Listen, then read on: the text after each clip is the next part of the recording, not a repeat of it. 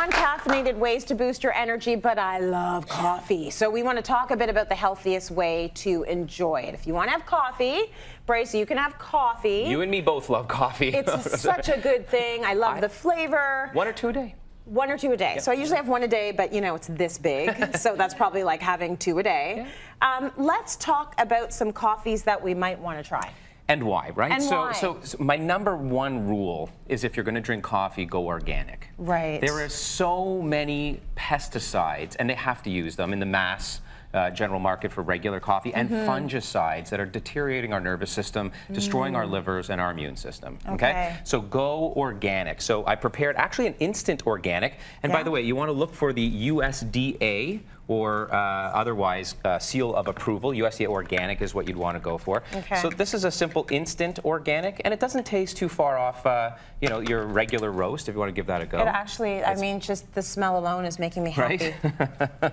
so look for the seal of approval for organic. Yeah. Number one rule. Okay? And that's instant organic. And that's instant. Now, there's something called OTA as well as fungicides and, and pesticides use. O OTA or, or, or ochratoxin okay. is something that is also destroying our immune systems and nervous systems, and it's also found in the non-organic uh, versions of coffee. So I, I re-emphasize, please go organic. organic. Number one. Okay. All right? If and when you can, find a product that incorporates mushrooms. Why so, is that? Well, certain types of mushrooms, enoki shiitake, maitake mushrooms, yeah. actually help improve immune function. Okay. okay. And stave off all kinds of diseases, like the big C, in fact. There's some good studies to show that. So okay. this is a mushroom coffee, and it's also an instant coffee. Yeah. So it's regular organic coffee. Mm -hmm. And mm-hmm. here's my little cheat. I don't like to use dairy. Right. So what I do is I take a quarter cup or a scoop or a teaspoon of vanilla protein powder, just a whey protein, right? and, and it's better if you blend it, but I'm just mixing yeah. it with a spoon. Oh, because when you blend it, and I'm when still going to drink it. When you blend it, it'll be really creamy, right? Yeah, she's when my taste tester. When you blend it, you get oh, a nice really little hot. foamy, it's okay, I'll just take a little sip.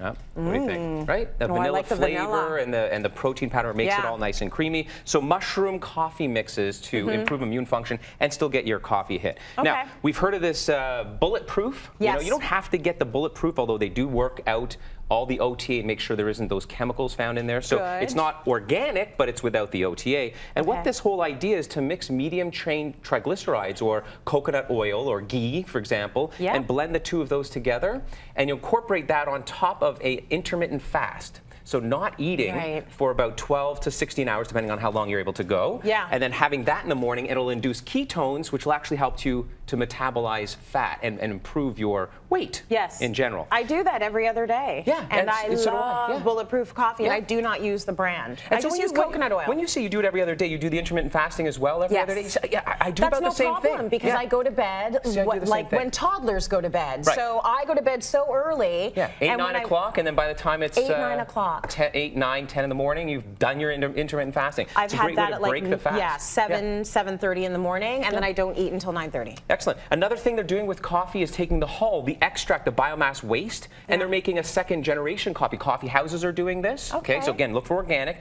but this is like a weaker, less caffeine form of coffee. Ah. And their other thing they're doing is, and you can supplement with this, you can find this in stores, is green coffee. Yes extract, get the whole green coffee bean, as well as the mesocarp, the whole coffee fruit. Uh -huh. And these things are amazing for nerve function, attention, focus, and even mm. staving off things like Alzheimer's disease. Look for this stuff. It's okay, really, really good. Thanks for that, Bryce.